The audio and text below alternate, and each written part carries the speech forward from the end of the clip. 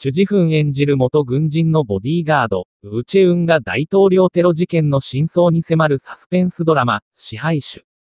物語の発端でもあるテロ事件が発生して以降、急激に成長した人工培養肉技術を研究する国際企業、BF 社、そのトップを演じる女性セオのユン・ジャユ役を担うのがハン・ヒョジュだ。世界的にヒットした韓国ドラマ、ムムービング、2023年で初の母親役を務めたことでも注目を集めた彼女は、透明感と可愛らしい笑顔で、国民的清純派女優、と呼ばれる人気俳優の一人。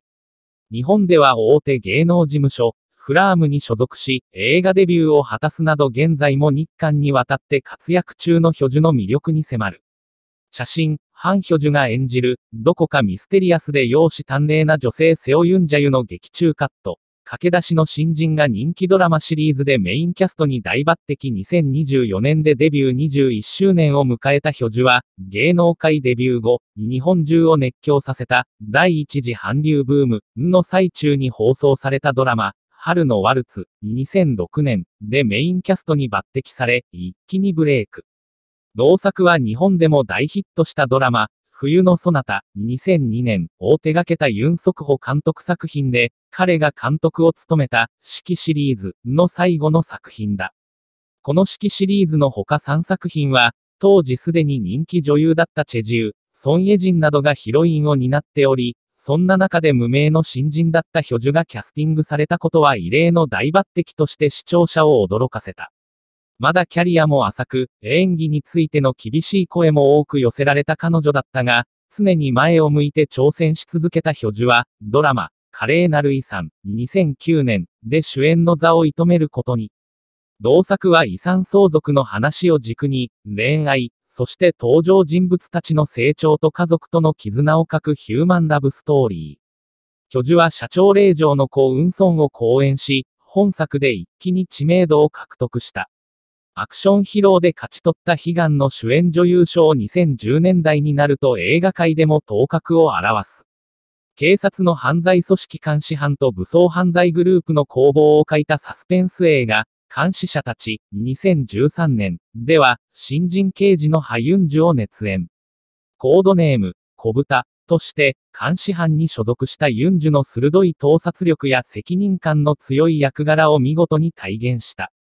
さらに本作ではアクションシーンも初披露するなど、これまで見せてきた姿とは異なる魅力と努力によって磨かれた演技力が高く評価され、第34回清流映画祭で主演女優賞を受賞した。また、パクソジュンをはじめ123人の役者が寝て起きるたびに姿の変わる主人公、ウージンを演じた映画、ビューティーインサイド、2015年では、ウージンが一途に愛し続けるヒロインの本椅子に踏ん、扮した。主人公を演じた役者の一人として、日本からは女優の上野樹里も出演しており、巨樹は、上野の過去の作品も見ていたので、共演できて本当に嬉しかった、と、彼女への思いも明かしている。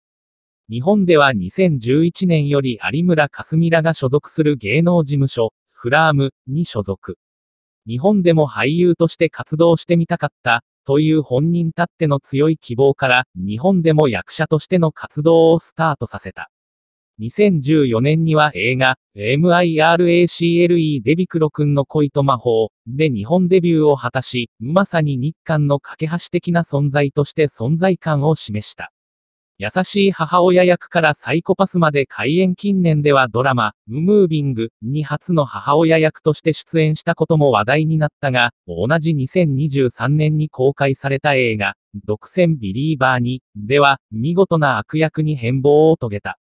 独占ビリーバー2018の続編となる本作は、謎の存在、イー先生、大巡り、麻薬捜査官たちが犯罪組織を倒すための決死の潜入ミッションを書いたノワールアクション作品。